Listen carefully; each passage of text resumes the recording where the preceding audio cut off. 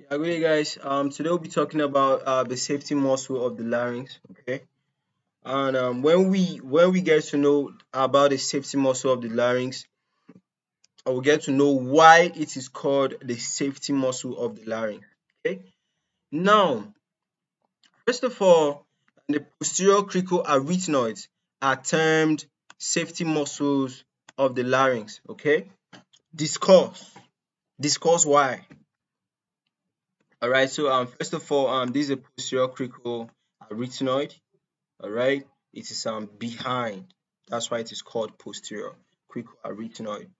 Now, why um the posterior cricoarytenoid is called the safety muscle of the larynx is because all intrinsic muscles of the larynx are adductors of the vocal, except the posterior cricoarytenoids, which are what abductors.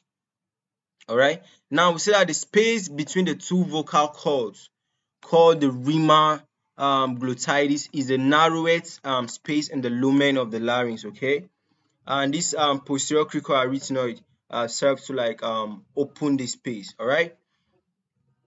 Um, this is the posterior cricoarytenoid, and it is behind. All right, and um, adduct. Um, adduct that means um opens up. Okay, sorry. All the other muscles adduct. And that means they bring together, okay? Abduct. The cricoarytenoid abducts uh, the larynx, okay? That means it opens the larynx, all right? And from this, you could just know that it opens the larynx for air, all right? Let's proceed. Now we say that the patency of the glottis is essential for air entry and exit.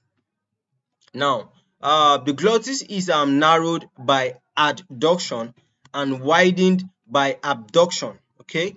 Now, and the posterior cricoarytenoid is important because um, if um, they are paralyzed, um, the action of the adductor muscles will be unopposed.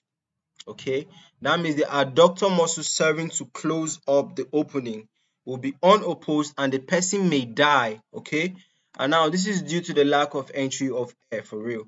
Okay, um, this is um, muscles of the larynx, intrinsic muscles of the larynx, posterior cricoarytenoid, um, transverse, um, and oblique arytenoid muscles. Okay, so these guys we are done discussing about the safety muscle of the larynx and see you guys in the next tutorial. Bye for now.